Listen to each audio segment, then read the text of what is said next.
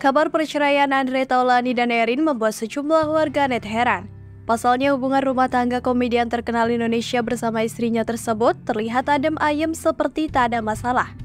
Namun siapa sangka jika mantan vokalis grup Men Stinky itu justru telah mengajukan gugatan cerai kepada sang istri di Pengadilan Agama Tiga Raksa Tanggrang sejak bulan April 2024 lalu.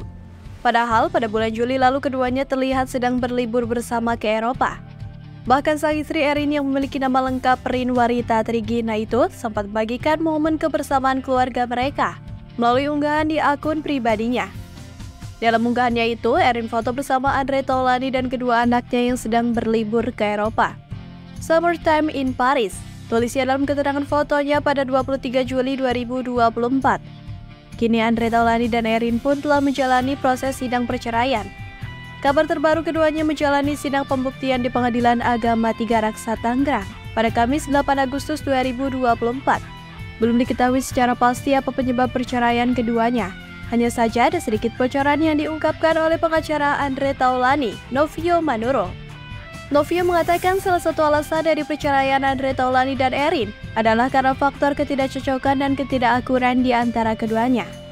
Berita perceraian ini menimbulkan berbagai reaksi dari netizen. Banyak yang tidak menyangka rumah tangga Andre dan Erin mengalami masalah serius. Pada salah satu postingan di foto liburan Erin di Paris, sejumlah netizen mengungkapkan keterkejutannya.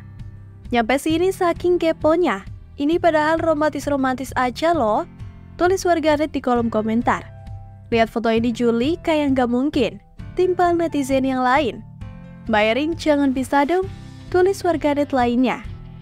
Perceraian Andre Taulani dan Erin yang seolah tanpa masalah ini membuat warganet tidak menyangka. Kisah rumah tangga keduanya yang terlihat harmonis ternyata menyimpan permasalahan yang tidak tampak di permukaan.